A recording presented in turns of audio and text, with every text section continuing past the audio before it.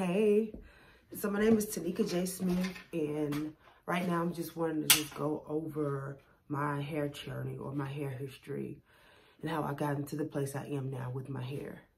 So when I was about two years old, my mom's friends convinced her to give me a relaxer because my hair was really, really hard to manage.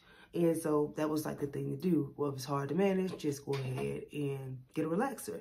Then it's always straight. You don't have to worry about fighting with the hair so that you can part it. You can just go in, part it, braid that hair up, and be on your way. You don't really have, at least at that time, she didn't really feel she had time to really wrestle with my hair. And then back then, there wasn't as much knowledge about hair as there is today. So they didn't really understand that it's a lot easier to manage if you, you know, implement certain techniques such as doing the hair or detangling the hair while it's wet, using a lot of conditioner, deep condition the hair, um, starting from combing the hair from the ends to the root. Things like that, that makes it a lot easier to deal with your hair.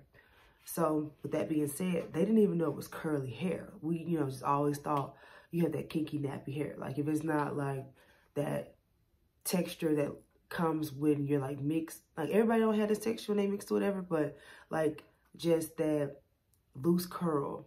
Some refer to it as 3C or 2C hair. Um, anything but four. anything but four.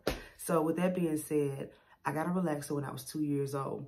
And I remember my mom always telling me that I was like using the box to hit my head, like the box that the relaxer comes in because it was burning so bad and she didn't know what to do and she felt so bad.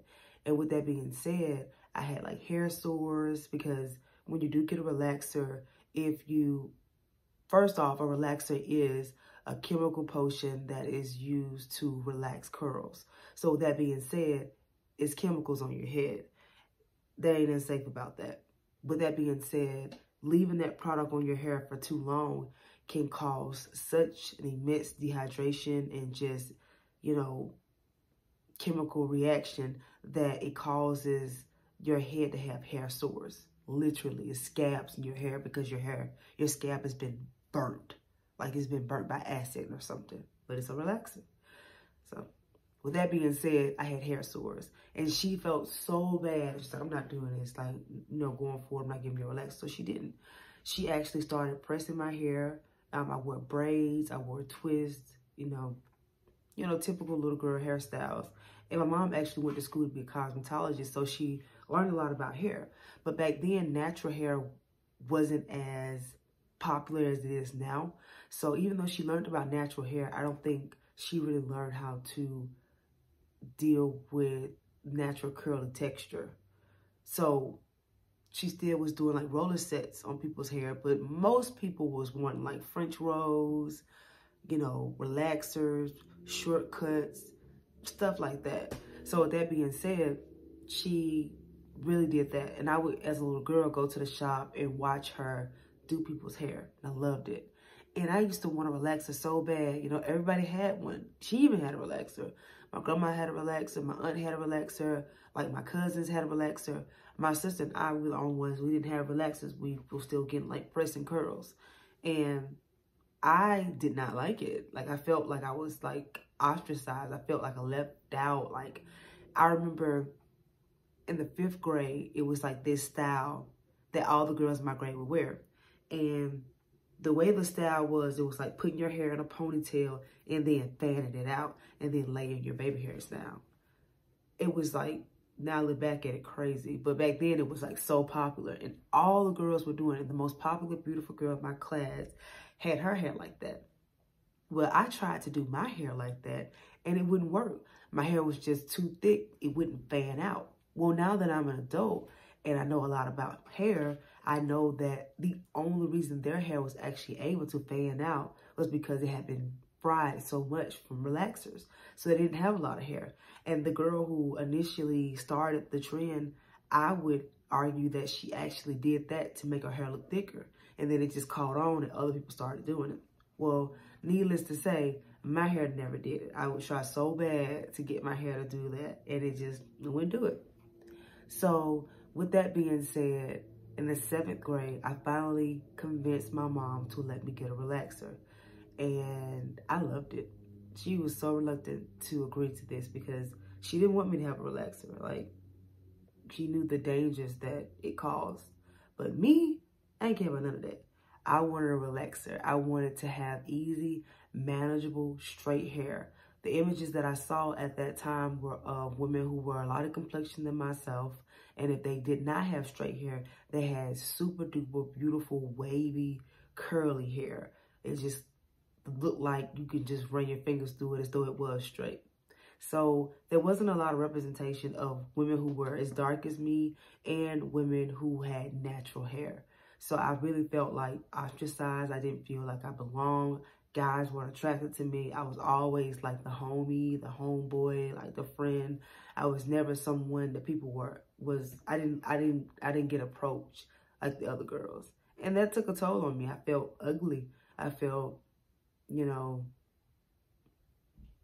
not accepted. You know, I just really felt like, why am I this person, you know, who nobody likes or, you know, don't look like anybody else. So I got my relaxer, needless to say, and things changed. They really did. I don't know if it's a situation where I just got more confident and that affected it, or if it was a situation where the boys, just like myself, were being influenced by society. And so because I had straight hair, they found me more attractive. I got my straight hair. I straightened my hair like maybe twice a week. And after a while, that wasn't enough. I wanted to start adding a few tracks in. At first, it was like maybe one or two tracks in my hair just to make it a little thicker. That wasn't enough. Eventually, I started having like full sew-ins. That wasn't enough. And then sometimes I just had a full wig, like an actual wig. I'm in high school wearing full wigs, you know?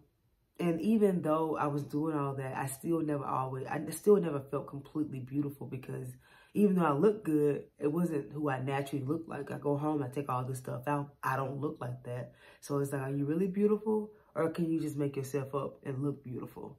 So I still had some insecurities with that. Well, when I got to college, I wore sew-ins for maybe one or two years, but as I got into my junior year, I just couldn't afford it. And I had one person I would go to on campus who would like do my hair for like literally $30. And that person graduated. So I had to really like all in, like, what am I going to do? And at the time I had a roommate who had been natural her entire life. And one day she saw me washing my hair with Suave shampoo. And she's like, what in the heck are you doing? Do you even love your hair? And I was like, what's wrong with this? You know, because I was so used to not really wearing my hair.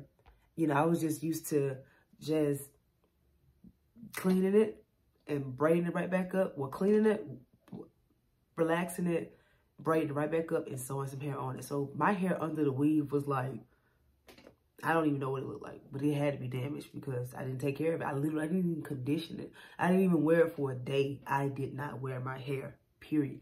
I hadn't worn my hair in like eight years. So when I stopped being able to afford to get sew-ins and relaxers, I started wearing my hair. And the first time I wore my hair, I did not like it. I really didn't know how to feel about it because my roommate was like, oh my gosh, your hair is so beautiful. It's so thick. But I'm sitting there thinking like, but it doesn't look like your hair. Like, what am I supposed to do with this? Like, it doesn't even hang. It sticks up and it's a fro, but it's curly. Like, I just didn't understand. I'm just like, what am I supposed to do with this? I just didn't know how to feel. And I was dating a guy at the time. And, you know, you're dating somebody, their opinion means the world to you. So I asked him when I first saw him, like, you know, you like my hair? And he was like, I don't know. And it was so hurtful, you know, because I'm like, he don't even like it. Like, nobody likes this. This isn't me. So with that being said, I had to really go on a self journey. And I initially started off trying to figure out how to do my hair because initially even though I didn't like it, I'm not gonna say I didn't like it, I didn't know how to feel. Even though I didn't know how to feel about it, I didn't have a choice. I could not afford to get sew-ins, get a relaxer, none of that. So I had to make it work. And I did. I did research. I found girls on YouTube with texture like myself. And I learned how to do my hair. And it became more than just um, me doing my hair. Became more than just a, a lifestyle change. It became a literally a self a journey for to self-love. I got to a place where I was in love with myself. Like I was so, because my hair was so important, and when I say it's so important, I'm just mean like it, it literally would take a day to do my hair. So when I needed to do my hair, I would have to schedule everything around it. And I needed to deep condition my hair twice a week. So that means two times out of the week, I can do nothing but prioritize a whole day toward doing my hair because I, it just was like that, you know? Well, during that time, I'd be thinking about what I want to cook, what I want to eat. I'll think about the music I like, my goals, where I want to be, who am I, how am I going to do my hair when I get done with this. Like, I just would be doing that. And then when I wasn't doing my hair, I was thinking about how I could do my hair, what